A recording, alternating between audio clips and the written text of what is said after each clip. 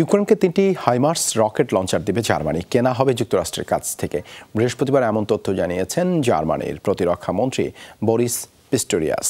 বলেন, যুক্তরাষ্ট্রের সশস্ত্র বাহিনীর তিনটি হাইমার্স রকেট লঞ্চার কিনে তা কিয়েভের কাছে হস্তান্তর করবে বার্লিন।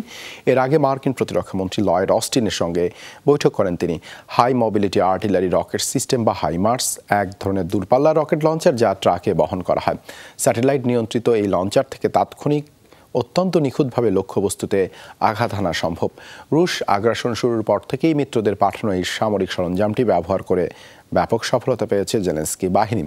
গত মাসে ইউক্রেনে যুক্তরাষ্ট্রে প্যাট্রিয়ট আকাশ প্রতিরক্ষা ব্যবস্থা দেওয়ারও ঘোষণা দেয় বার্লিন।